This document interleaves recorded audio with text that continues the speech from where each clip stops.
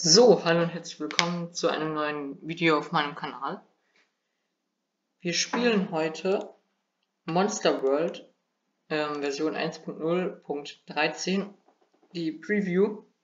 Ähm, ich habe gerade schon ein wenig gespielt, eine Runde. Ich hatte echt gute Karten. Ähm, aber ja, dann sind wir doch, haben wir doch verloren.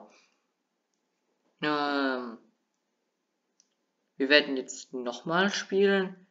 Bei der letzten Aufnahme habe ich im Nachhinein anschauen gemerkt, dass ähm, der Ton nicht gestimmt hat. Die Musik war zu laut. Ähm, aber man könnte sie hören. Dieses Mal, also jetzt gerade im Moment hören wir gar keine Musik. Und beim letzten Mal waren die Grafiken etwas verbuggt und die Texte wurden nicht angezeigt zur Beschreibung der Karten. Ähm, das ist jetzt besser. Ich habe es behoben. Und wir fangen gleich nochmal an. Und es backt auch nicht einfach so. Also es läuft einigermaßen flüssig. Natürlich gibt es flüssigeres, aber muss ja nicht. Schreibt Tipps gerne in die Kommentare, wenn ihr welche habt. Ja, wenn ihr das Spiel schon selbst gespielt habt oder so. Ähm, Upflord ist ein, ein Deutscher, also bedeutet, er könnte unter Umständen dieses Video sogar sehen. Ähm, ich werde ihm das auch nochmal zeigen, ihn anschreiben. Wir kennen uns jetzt, wir kennen uns nicht persönlich, aber ich werde gucken, dass ich ihm das mitteile, dass ich ein Video gemacht habe. Hier sieht man jetzt schön die Beschreibungen der ganzen Karten und das war bei einer anderen Version nicht so. Ähm, also das, sind, das hier sind wir. Das sind die Gegner. Hier sieht man den Namen. Das ist der Block von den Gegnern. Bedeutet, ich muss jetzt erst vier von diesen Schilden hier wegbekommen, damit ich seine Lebenspunkte direkt angreifen kann. Das ist eine, ein Effekt, den er gerade hat. Und wir. Und das hier ist unser Mana. Und das sind wir. Das sind die verschiedenen Fähigkeiten, die wir haben hier oben. Und es gibt auch ein Level-System. Also es ist für den Scratch-Editor echt gut gemacht, finde ich. Solltet ihr euch auf jeden Fall mal angucken. Es ist kein Fehler. Also ich hatte gestern schon 30 Minuten Aufnahme. Und wir haben auch direkt einen Level Up erreicht. Ich empfehle euch immer äh, am Anfang den Intellekt zu nehmen. Da kann man zum Beispiel ähm, 6 Gift auf den Gegner ähm, machen, dann hier 5 Block und 2 Energie. Das hatten wir, also das hatte ich beim letzten Zug. Es ging, aber ich, ich fand das besser. Ich habe das nämlich schon mal gespielt, das ganze Spiel, und ähm, ja, ich finde das einfach besser. Dadurch, dass Gift eine sehr starke Eigenschaft ist, da es jetzt noch 5 Züge lang hält, bedeutet, der bekommt noch 5 Züge lang Schaden. Und danach würde ich euch vielleicht eine Aura empfehlen. Äh, ja, welche nehmen wir?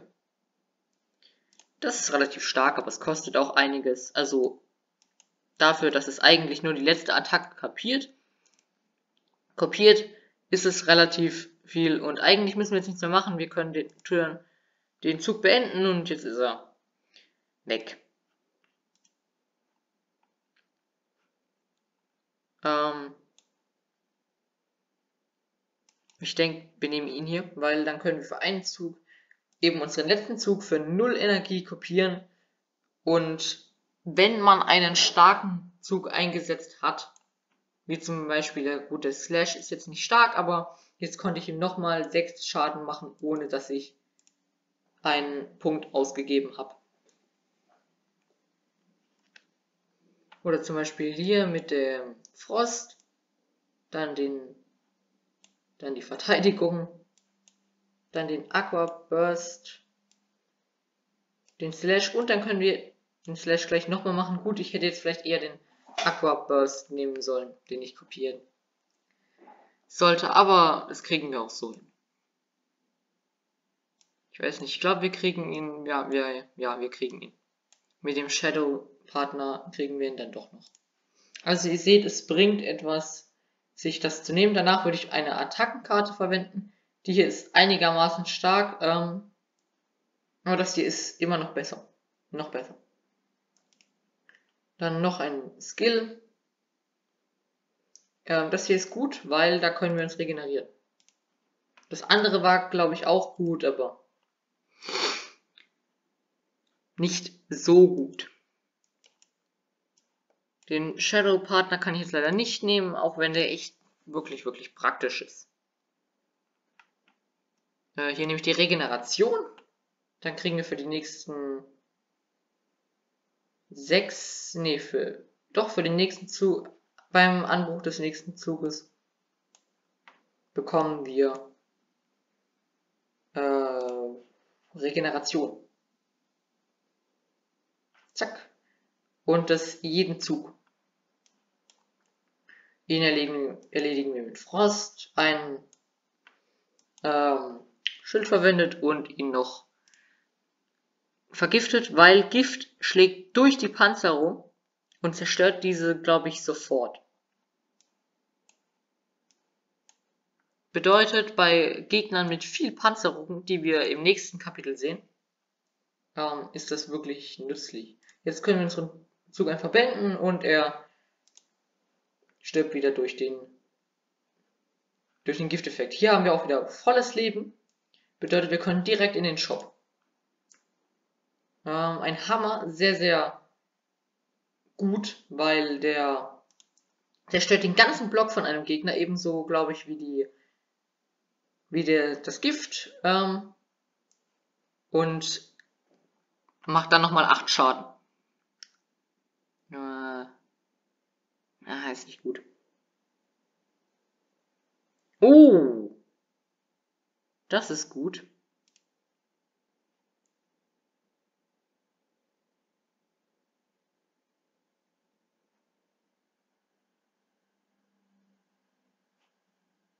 Ich denke, wir nehmen das hier. Oder wir nehmen... Ja, jetzt haben wir drei random Fähigkeiten, von, dem, von denen ich eben jetzt nicht weiß, was sie sind. Hier, er hier, er hat gleich 30 Armor und das verliert er nicht. Jedes, jeden Zug behält er diese Armor. Erstmal blocken, Okay, das ist immer gut, weil da bekommt man kostenlose, kostenlose Fähigkeiten. Und wir haben Schwäche. Schwäche kann hier echt sehr gefährlich werden. Oh, und hätte ich das hier vorher genommen, dann hätte ich es jetzt nicht bekommen. Ah, okay. Na naja, gut, es kostet nichts, also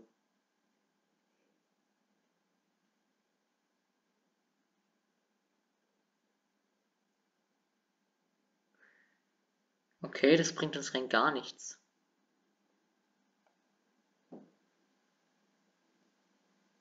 Er, von ihm hier bekommen wir Energie für jeden Gegner mit Frost und von ihm bekommen wir äh, macht er Schaden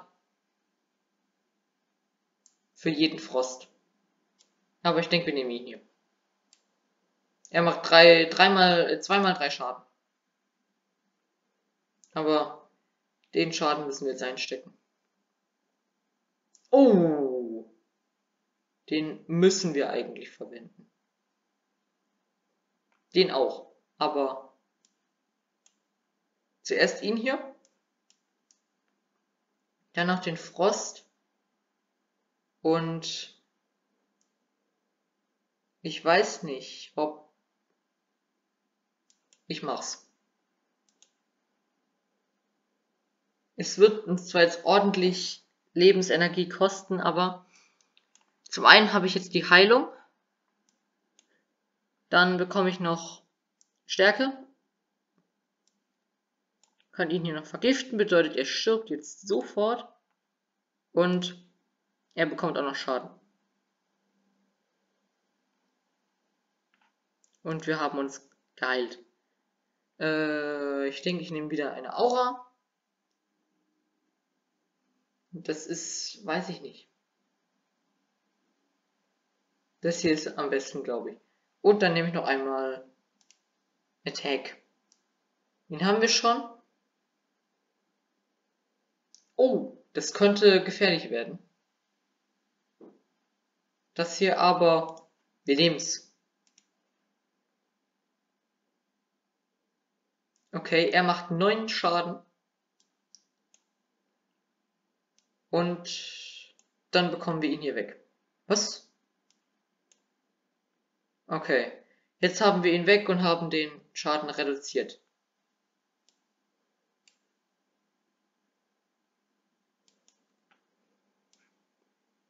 Ich will ihn einfach mal ausprobieren. Jetzt hat er drei Frost. Bedeutet, wir können auch mit Frostattacken noch ein bisschen was machen. Die können wir jetzt alle ausspielen, bis auf eine.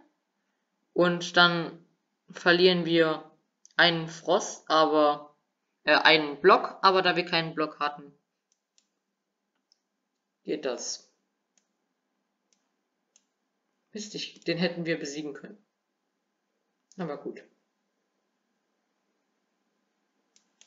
Ihn hier stören wir mal und zack. Ich hoffe, es kommt bald ein Heiler. Weil die sind, die sind fies.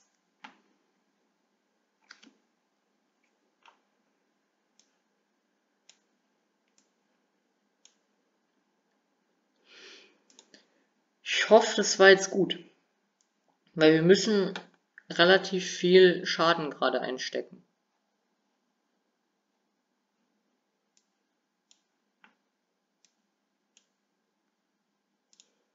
Ja, wieder 8 Schaden. Also, wenn jetzt nicht bald irgendwie das, das Ende kommt, dann ist das schlecht für uns. Ich vertraue jetzt mal darauf, dass... Nein, ich hätte noch was einsetzen. Nee, es geht nicht durch die Deckung. Ich dachte, es geht durch und äh, ich hätte noch was einsetzen können. Also, es war ein schlechterer Zug. Er macht auch noch neun Schaden. Kriegen wir niemals alles geblockt.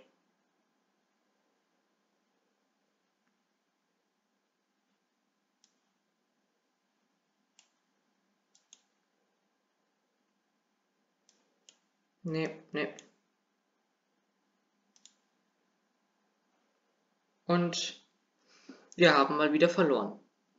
Ich denke, ich beende die Aufnahme hier starte dann wahrscheinlich gleich nochmal eine, aber ich will mir erstmal die angucken und ähm, im eventuell Fall dann ein bisschen was verändern.